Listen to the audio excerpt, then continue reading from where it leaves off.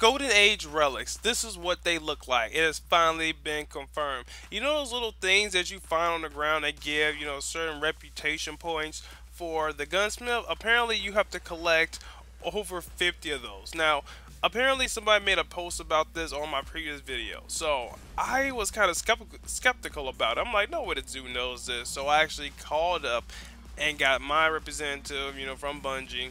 Basically, he even confirmed to me he said that, look, man, those things that drop, those are the golden age relics. You know, we're not really trying to, you know, um, give people a walkthrough of it. It's supposed to be MMO. I said, oh, I understand, but, you know, I just really was curious about it. So, you know, he told me that, and plus I'm a big YouTuber, so of course they want me to promote their stuff, lols. But anyway, now, guys, here is the thing. Now, 12 days after the initial launch of the Taken King, only about 5 of these relics have been found. Yes, only about 5. So let's round up. It's, it'll take 14 days, so 2 weeks just to get 5 of them. Right? Right? Okay. So, let's see, that's 10 a month for 5 months. Yeah, that's 5 months. It'll take you 5 months to get this. And I'm going to be honest, my drop rate is bogus. Like I've only found three, and I've had this thing since like it dropped. Like I said, I've only found three. Let me say it again. I've only found three.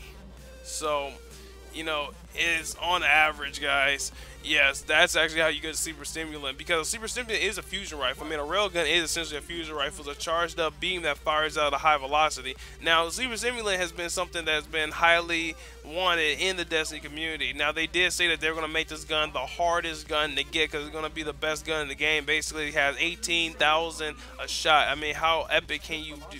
I mean, how just how more epic can it be? Guys. Now, put in the comment, what do you think about that? I want to hear what you guys have to say.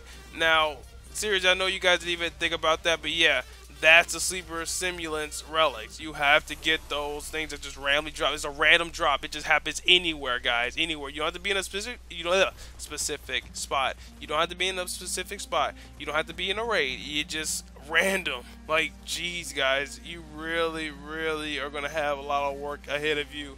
This isn't something you can farm. You can't farm this. I'll probably make a video talking about me attempting to farm it, but you cannot farm this. It's just something that will happen, you know, five months down the line.